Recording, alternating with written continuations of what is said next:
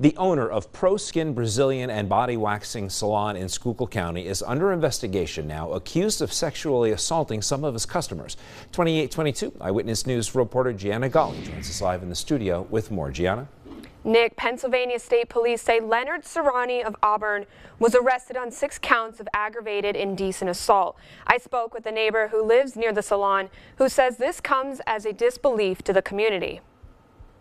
I didn't believe it right away, and especially him. He has two kids that are that are in their late 30s, I think.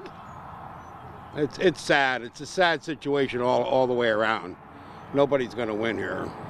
Investigators say the accusations of assault started in 2018. They say five clients accused Serrani of sexual assault, which took place during their appointments for over four years until 2022.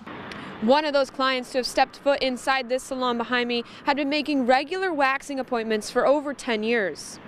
Barry Line, a Wayne Township resident who had met the accused, says Serrani's actions are shocking. He's from outside the area, he's from New Jersey, but it still don't matter. There's no excuse no matter where you're from to do that kind of stuff, you know.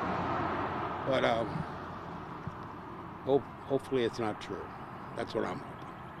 Serrani's bail was set at $100,000. He was also ordered to surrender his passport. Anyone with information regarding this investigation or who is also a victim of sexual assault is asked to contact 570-754-4600. Nick? All right, Gianna, thank you.